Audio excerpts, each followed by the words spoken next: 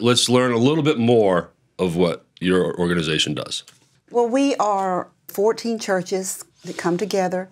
We all have uh, come from different denominations, but when we gather, we gather as one body of Christ. And that's what we are about is to fulfill the scriptures mm-hmm. and reach out. It's it's basically neighbors helping neighbors, and that's why we limit it to the Hernando Nesbit area. It was formed actually in 1982. Okay. There was a Catholic nun that had come to us, uh, and she was working at Catholic Social Services. She recognized the needy in the community.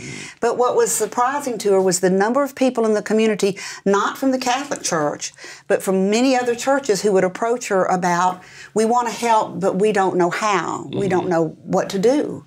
So that's how interfaith was formed. But consideration is given not only to the people we are helping, mm-hmm. but the people who are doing the helping.